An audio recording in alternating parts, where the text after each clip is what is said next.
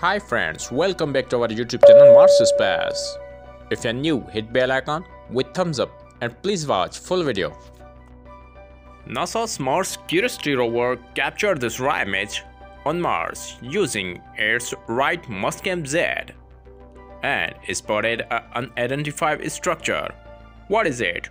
Watch in close up. It looks like a humanoid skull, possible skull on Mars, or just rock formation. What do you think? Let me know in comment below. Watch new pictures from Mars Perseverance rover captured by NASA's Mars Perseverance rover on Sol 335, 29 January 2022. New drilling in the rock Issole at the side of Jezero crater. Images credit goes to NASA and JPL. If you like this, hit thumbs up and don't forget to share to your friends. Stay connected with us. Thanks for watching.